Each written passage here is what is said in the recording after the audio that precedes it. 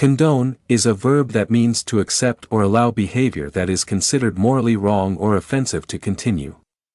It implies overlooking or forgiving the behavior, often without outright approval but with a degree of tolerance or leniency. For example, the manager decided to condone the employee's tardiness because of the difficult weather conditions. In this context, the manager is allowing the tardiness to go unpunished or uncriticized due to the circumstances.